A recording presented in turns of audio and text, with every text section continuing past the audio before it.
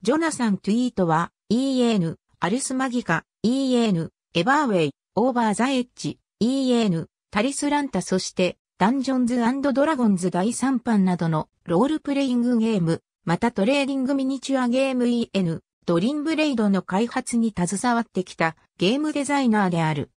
ジョナサン・トゥイートは父が彼にダンジョンズドラゴンズゲーム初版を買ってあげたことから、1970年代に D&D を遊び始めた。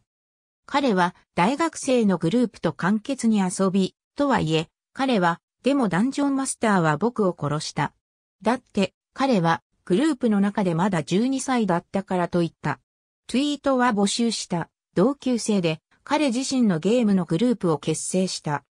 1987年、トゥイートは中世の魔法使いを中心に取り扱ったロールプレイングゲーム EN アルスマギカをデザインした。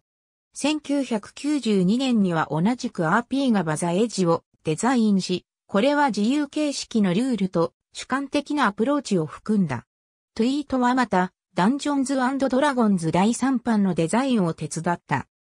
トゥイート、モンテクック、そしてスキップ・ウィリアムズの全員が第3版の EN、プレイヤーズハンドブック、EN、ダンジョンマスターズガイド、アンデン、モンスターマニュアルに貢献し、そして各デザイナーは、それらの貢献に基づいて、書籍を書いた。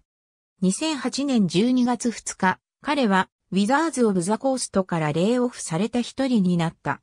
2007年、彼は、オリジン賞の名誉の殿堂に加えられた。